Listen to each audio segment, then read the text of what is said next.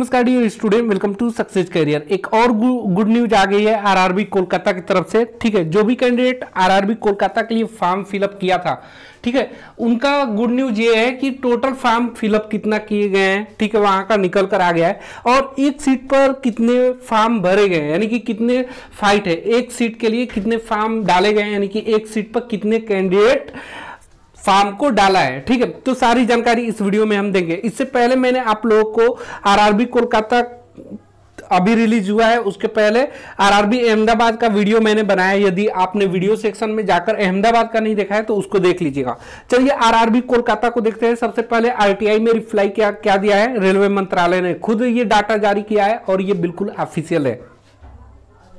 तो यहाँ जो रेलवे ने अपनी डाटा जारी किया है, वो टेक्निस टेक्नीशियन ग्रेड थर्ड, ठीक है, टेक्नीशियन ग्रेड थर्ड और टेक्नीशियन ग्रेड वन को मिलाकर डाटा जारी किया गया है, यानी अलग अलग डाटा नहीं जारी किया गया है, यानी कि टेक्नीशियन, टोटल पोस्ट जो है टेक्नीशियन ग्रेड वन और थर्ड दोनों को मिलाकर जारी किया गया चलिए उसको देख लेते हैं।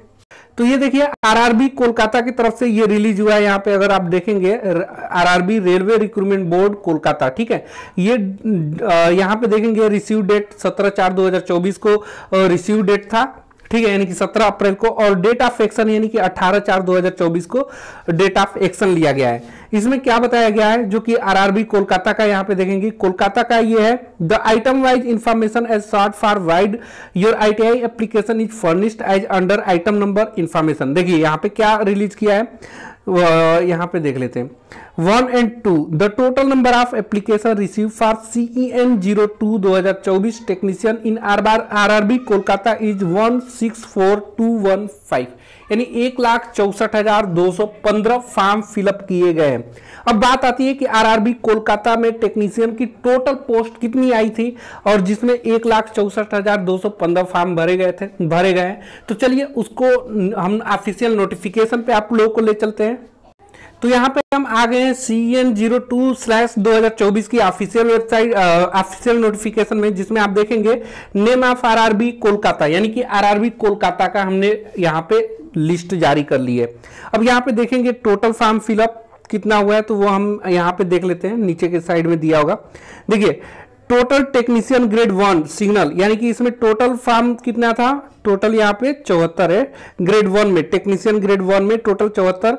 और ऐसे ही देखेंगे, टोटल टेक्नीशियन ग्रेड थर्ड, जो कि इसमें 432 पोस्ट है। अगर दोनों को मिला दे तो यहाँ टोटल 506 पोस्ट है, जिसमें फार्म कितना भरा गया है? अगर आप यहाँ पे देखेंगे, एक लाख चौसठ हज़ार दो सौ पंद्रह फार्म डाले गए थे। टोटल कितने पोस्ट पे डाला गया है? पाँच से छह पोस्ट पे डाला गया है। ये जनरली डाटा जारी हुआ है। अगर आप अलग अलग ट्रेड पे निकालेंगे ना तो अलग अलग हो जाएगी। फिर एक लाख चौसठ हज़ार दो सौ पंद्रह में टेक्नीशियन फ़र्स्ट और थर्ड दोनों है। तो इसमें थर्ड अलग निकलेगा फ़र्स्ट अलग निकलेगा। तो आरआरबी ने क्या किया है कि दोनों को मिलाकर यहाँ पे डाटा जारी किया है। ठीक है? तो आपका कैटेगरी वाइज ठीक है, जैसे कि कैटेगरी जनरल ओबीसी एसटी के हिसाब से अलग अलग हो सकती हैं, और साथ में आपका टेक्नीशियन फ़र्स्ट और टेक्नीशियन थर्ड के अलग अलग फॉर्म फिलअप किए गए हैं तो उसकी भी डाटा के वजह से अलग अलग हो सकते हैं, ठीक है? तो फाइनली हम जनरल मोड में जो डाटा जारी किया गया है टोटल एक लाख चौसठ हज़ार दो सौ पंद्रह पे पाँच सौ छह अगर हम इसको डिवाइड करते हैं, चलिए हम कैलकुलेटर ओपन करके यहाँ पे डिवाइड करते हैं तो कंपटीशन यहाँ पे देखिए हमने डिवाइड किया है एक लाख चौसठ हज़ार दो सौ पंद्रह में पाँच सौ छह से। अगर ओवरऑल देखेंगे तो यहाँ तीन सौ चौबीस दशमलव पाँच तीन यानी कि तीन सौ पच्चीस मानिए। 325 एक बच, एक सीट पर आया हुआ है जो कि यहाँ पे इस बार कोलकाता जोन के लिए टेक्नीशियन के लिए काफ़ी ज़्यादा यहाँ पे माना जाएगा कंपटीशन है। क्योंकि अहमदाबाद में हमने निकाला था तो अहमदाबाद में अगर आप फिलअप किए होंगे तो जनरली 241 फॉर्म भरे गए थे एक सीट के लिए। यानी कि 241 कैंडिडेट एक सीट पे अहमदाबाद में फाइट कर रहे हैं। वहीं जनरली यहाँ पे देखा जाए कोलकाता जोन में तो 325 लड़के एक सीट के लिए फाइट करेंगे। वो भी सिर्फ़ जनरल यहाँ पे ये निकाला गया है जनरली ठीक है? मतलब सामान्य तौर पे 325 कैंडिडेट एक पोस्ट के लिए इलिजिबल है। तो 325 में यानी 324 को आउट करना ही होगा, तब जाके एक सिलेक्शन होगा। तो आरआरबी इसमें अभी दोनों में देखा जाए तो कोलकाता वाला ज़्यादा है 325 है और 241 अहमदाबाद भरा गया तो अहमदाबाद अभी इसके हिसाब से तो सेफ़ जोन है। बाकी आगे आने वाले समय में हम डिस्कस करते रहेंगे आरआरबी से रिलेटेड सारी चीज़ों के बारे में। यदि आप चैनल पे पहली बार होंगे तो चैनल को सब्सक्राइब कर लीजिएगा।